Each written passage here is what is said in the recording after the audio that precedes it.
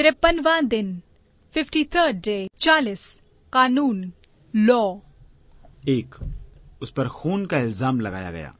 He was accuse of murder दो वो दो दिन जेल में रहा। He was in the police lockup for two days तीन उसने इस घटना की रिपोर्ट पुलिस को दी। He reported this incident to the police चार अपराधी बरी कर दिया गया। The accused was acquitted. पाँच वो फरार हो गया। ही अब्सकाउंडेड छ वो जमानत पर छोड़ दिया गया है। He was release on bail B A I L bail सात शहर में बद अमनी फैली हुई है। लॉलेसनेस प्रिवेल्स इन द आठ तुमने गैर कानूनी काम किया है। योर एक्ट इज़ इलीगल नौ इंसाफ का यही तकाजा था। जस्टिस डिमांडेड इट दस आप मेरे गवाह हैं। यू आर माई विटनेस ग्यारह। ये कानून के खिलाफ है। This is against the law बारह। वो बिल्कुल बेगुनाह है। ही इज़ इनोसेंट तेरा आप ही इंसाफ करें। इट्स फॉर यू टू जज चौदह। ये सब नकली दस्तावेज़ हैं। These are all forge documents पंद्रह। उसने मेरे विरुद्ध केस किया।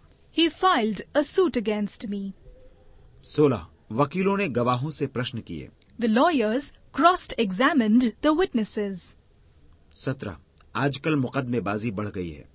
Nowadays litigation is on the increase अठारह पुलिस इस विषय में छानबीन कर रही है। The police is investigating the matter उन्नीस मैंने उसके विरुद्ध क्रिमिनल केस कर दिया। I have filed criminal case against him बीस मजिस्ट्रेट ने अपराधी पर अपराध लगा दिया।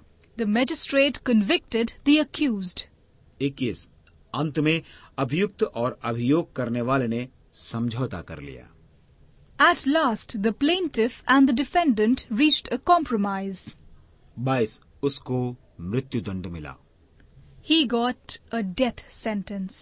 तेईस ज्यूरी ने अभियुक्त के पक्ष में निर्णय दिया The jury gave its verdict in favor of the accused. पृष्ठ एक सौ तिरपन चौबीस खूनी को फांसी मिल चुकी है। The murder has been hanged पच्चीस कानून न जानना कोई बहाना नहीं। Ignorance of law is no excuse छब्बीस जज ने चोर को सजा दी।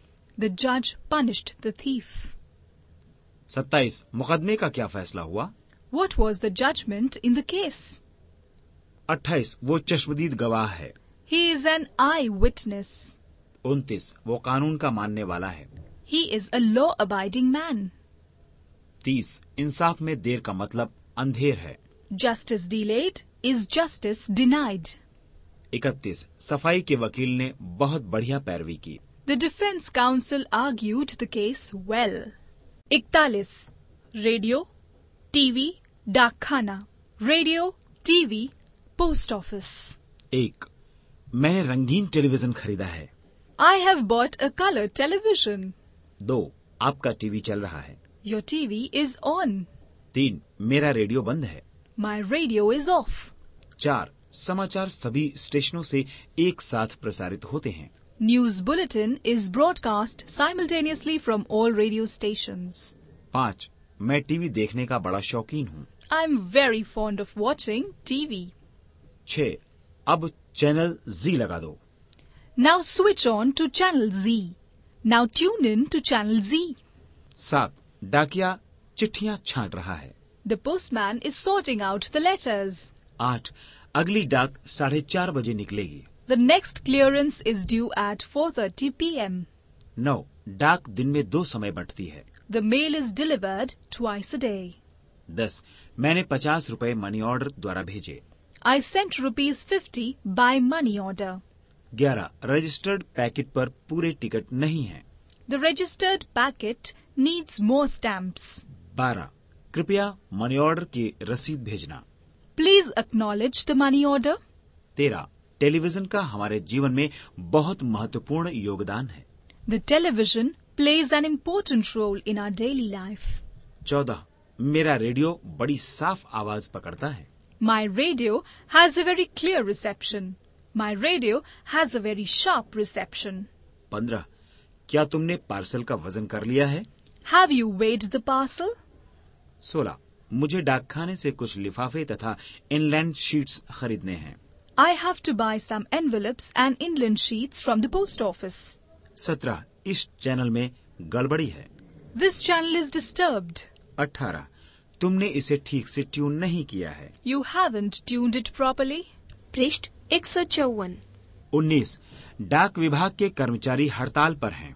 The workers in the postal department are on strike बीस। इस पत्र पर कितने की टिकट लगेगी? What will the stamp on this letter cost याद रखे remember here's a good government after decades आज कई दशकों के बाद अच्छी सरकार बनी है। G O V R and govern क्रिया में M E N T ment लगाने से संज्ञा G O V E R N M E N T government बनी है। इसी प्रकार कुछ अन्य संज्ञाएँ निम्नलिखित हैं। ध्यान से सुनिए। अग्री से अग्रीमेंट समझौता। अमेज से अमेजमेंट आश्चर्य। अमेंड से अमेंडमेंट सुधार। एम्प्लॉय से एम्प्लॉयमेंट नौकरी। एक्साइट से एक्साइटमेंट जोश। सेटल से सेटलमेंट निपटना आर्ग्यू से आर्ग्यूमेंट तर्क। यहाँ ए आर जी यू ई की ई का लोप हो गया है। A R G U E argue से A R G U M E N T argument तर्क। He is a civil servant वह एक अधिकारी है। इस वाक्य में सर्वेंट संज्ञा है। अंत में ए एन टी वाली कुछ और संज्ञाएँ हैं। अकाउंटेंट लेखापाल एप्लीकेंट प्रार्थी कॉन्सोनेंट व्यंजन डिफेंडेंट प्रतिवादी मर्चेंट सौदागर आदि। ऊपर दिए गए शब्दों में सर्वेंट डिफेंडेंट तथा अकाउंटेंट जैसे शब्द क्रमशः सर्व डिफेंड तथा अकाउंट में ए एन टी तथा अप्लाई में सी ए एन टी लगाने से बने हैं। पर कुछ शब्द जैसे मर्चेंट और कॉन्सोनेंट अलग हैं। किसी दूसरे शब्द में जोड़ने से नहीं बने हैं। इसी तरह इम्पोर्टेंट के अंत में ए एन टी है, पर यह संज्ञा नहीं, विशेषण है। याद रखिएगा। पृष्ठ एक सौ पचपन।